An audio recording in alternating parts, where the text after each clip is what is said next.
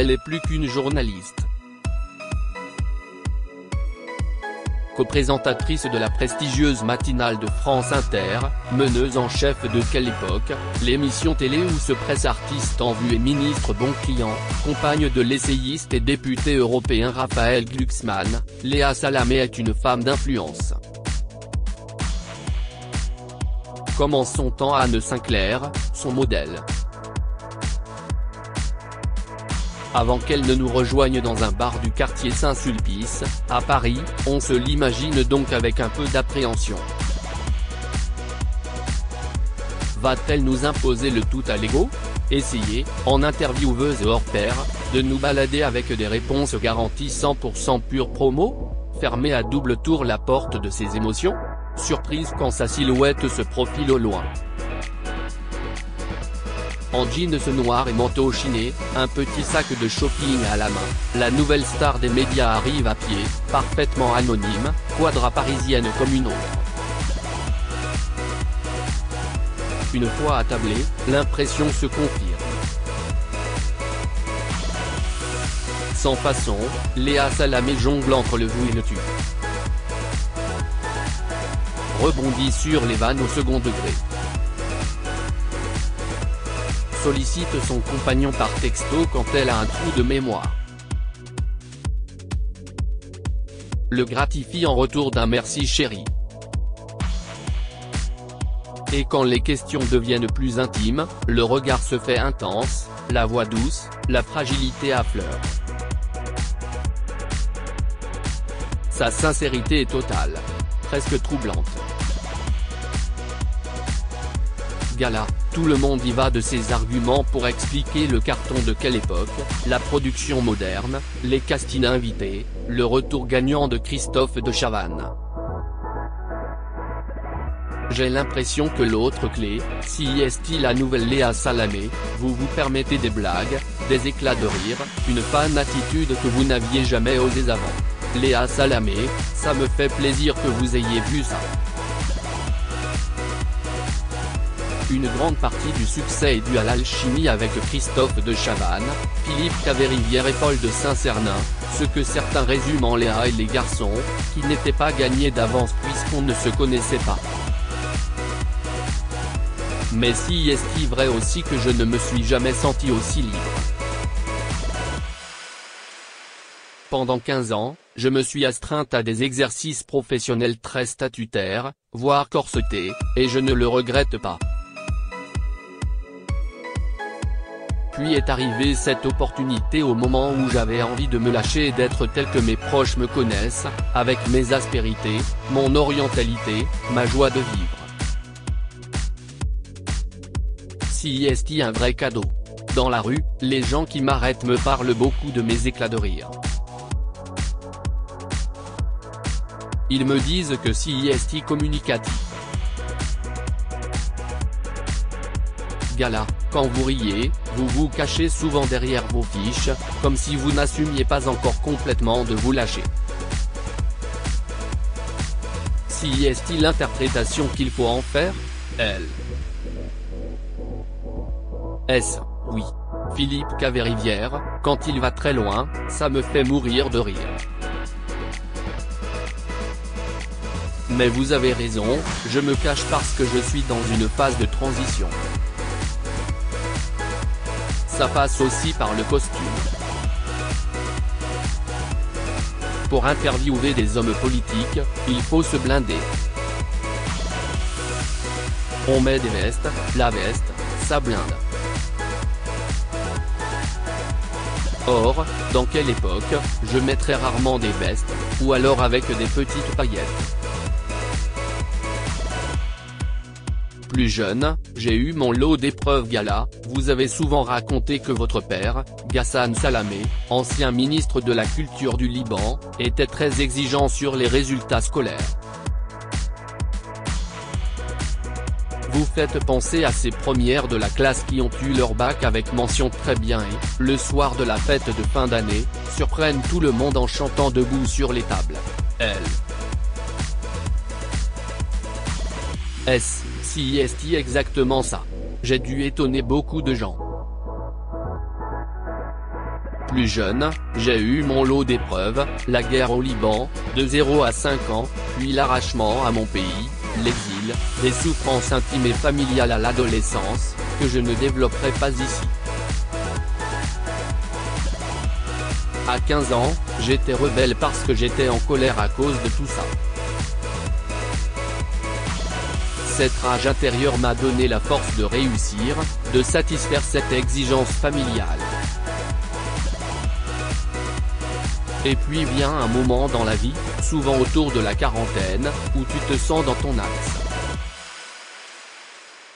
Aujourd'hui, je ressens ça. Je peux m'autoriser à être moi-même. Parfois, je dis des gros mots, je parle de ces. La bonne élève, pour reprendre votre image, revient alors au galop en disant tu ne peux pas t'autoriser ça, je me cache derrière mes fiches mais je me l'autorise quand même. Gala, vous parliez de déracinement, d'exil. Si est une fierté supplémentaire, d'être arrivé là où vous en êtes avec ce parcours chaotique? Elle. S, comme tous les exilés, j'ai toujours ressenti le fait que je devais travailler deux fois plus que les autres pour être accepté. Mais le mot fierté n'est pas le bon. disons qu'il y a des moments irréels. Comme lors de la dernière élection présidentielle, quand je me suis retrouvé à présenter le débat d'entre deux tours avec Gilles Boulot, il y a eu un petit moment où je me suis pincé. Je ne m'appelle pas Marie Dupont, je ne suis pas né dans la Creuse. Me retrouver là n'était pas écrit. Je me dis toujours aussi, sa voix se charge d'émotions, et s'il n'y avait pas eu la guerre au Liban, quelle aurait été ma vie? Gala, vous êtes libanaise par votre père mais aussi, on le sait moins, arménienne par votre mère. Vous évoquiez votre orientalité assumée à l'antenne. Qu'y a-t-il en vous de ces origines? Elle. S de Libanais, il y a quelque chose qui déborde, je suis gourmande, capable de parler avec les mains, j'ai la Méditerranée en moi. D'Arménien, j'ai le côté travailleur, l'abnégation. Et des deux côtés, il y a les souffrances de ces peuples, la guerre, le génocide, c'est inscrit dans mon corps. Derrière Léa la bagarreuse, il y avait tout ça. Gala, vous en parlez au passé. Vous avez donc changé en profondeur? Elle. S, je n'ai pas changé. Mais il fallait être bagarreuse, s'endurcir pour s'imposer dans cet univers d'hommes que t'es à l'époque celui des intervieweurs politiques. Quand j'ai commencé l'émission politique avec David Pujada, les hommes politiques le regardaient lui en considérant que j'étais une plante à côté. Alors, là aussi, j'ai fait deux fois plus. Je sais que je suis allé trop loin, que j'étais trop brutal, trop agressive. Il fallait plus de subtilité et de douceur, qui n'est pas forcément contraire à la fermeté. Bien sûr, je ne suis pas comme les autres mamangala, il s'est aussi passé dans votre vie un événement qui fait voir les choses différemment, la naissance de votre fils Gabriel, aujourd'hui âgé de 6 ans. Dans quelle époque, Christine Ocre vous a retourné une petite pique sur le thème de la maman absente, et il y a eu un moment de flottement. Avez-vous une culpabilité de maman hyperactive? Elle. S. Oui et non? Oui, comme toutes les femmes qui culpabilisent de ne pas faire assez bien. Et non, car je m'astreins vraiment à consacrer deux ou trois heures par jour, et tous les week-ends, à mon fils et mon beau-fils, Alexandre, 11 ans, le fils que Raphaël Glucksmann a eu d'une précédente union, NDR. Bien sûr, je ne suis pas comme les autres mamans à prendre le petit déjeuner en famille. Pas une fois je n'aille pu le faire depuis que Gabriel est né car je suis à France Inter. Mais deux à trois fois par semaine, c'est moi qui vais le chercher à la sortie de l'école.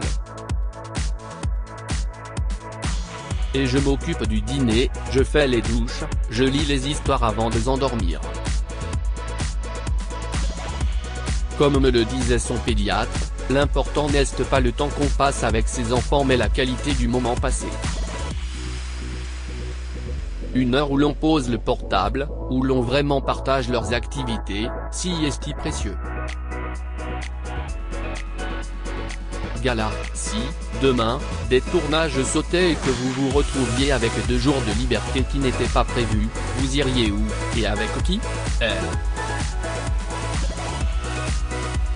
S. Je partirai avec mon compagnon à Rome, la ville de notre premier week-end d'amour. Je me baladerai dans les rues et je retournerai voir deux tableaux du Caravage que j'adore, Saint-Mathieu et l'Ange, à l'église Saint-Louis des Français, et Judith et Holoferne, à la Galerie nationale d'art ancien. Gala, en 2015, vous déclariez dans Elle qu'en amour, vous ne vouliez pas de la médiocrité, de l'ennui, que ça vous tétanisait. Ça ne doit pas être facile d'être en couple avec vous. Elle. S. L'habitude et l'ennui sont les deux ennemis du couple, non Faire durer son couple, ça se travaille. Il faut s'efforcer de le préserver malgré l'arrivée des enfants et les ambitions professionnelles. Elisabeth Badinter m'avait dit un jour qu'être féministe, si est se réjouir de la réussite de l'autre. Et c'est ma chance. J'ai un compagnon qui est plus féministe que moi et se réjouit de ma réussite, n'en prend pas ombrage, ne se ne trouve pas diminué. Il fait avoir des épaules pour ça.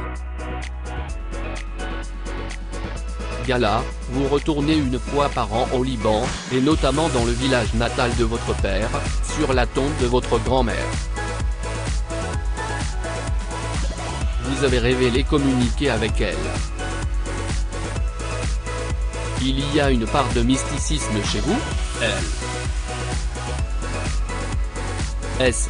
Oui, certains peuvent en sourire mais je crois que ma grand-mère, disparue il y a dix ans, me protège.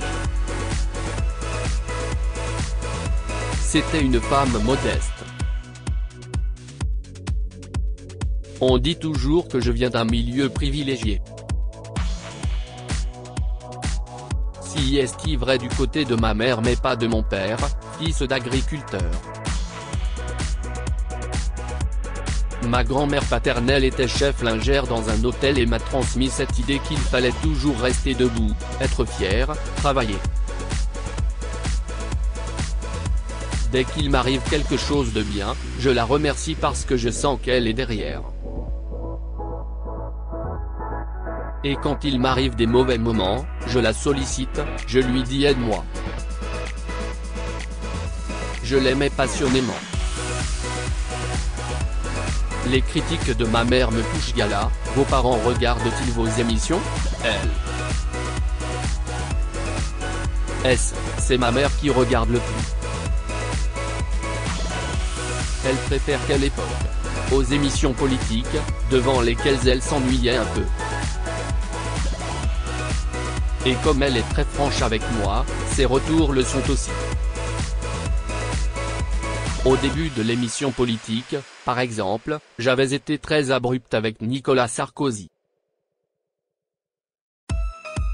Elle m'avait envoyé un mail en me disant ma fille, tu vas trop loin, cette agressivité, c'est malaisant. Ces critiques me touchent, donc au début, je m'énerve mais au fond, je sais qu'elle a raison. Long silence, la relation mère-fille était compliquée à l'adolescence. Aujourd'hui, ma mère est extrêmement importante dans ma vie. Gala, est-il vrai qu'au début d'On est couché de la matinale de France Inter, vous aviez pris la grosse tête? Elle. S. Oui, c'était le combo des deux.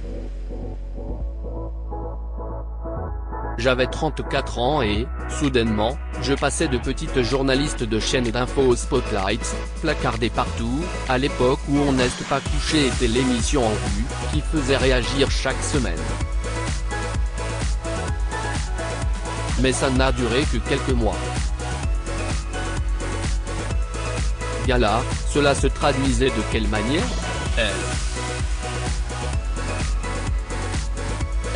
On tombe dans le piège de croire les gens qui vous encensent, on pense que ces questions sont plus importantes que les réponses, on se regarde à l'écran, par pur narcissisme.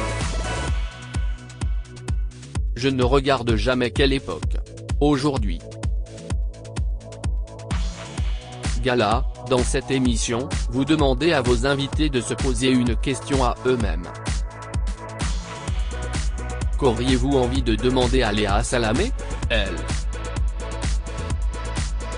S. Elle réfléchit très longuement, est-ce que tu es enfin apaisé? Gala, et la réponse est, elle. S. J'y travaille. Cet article est à retrouver dans le Gala N degré 1562, disponible dans les kiosques ce jeudi 18 mai 2023. Crédit photo, Coadic.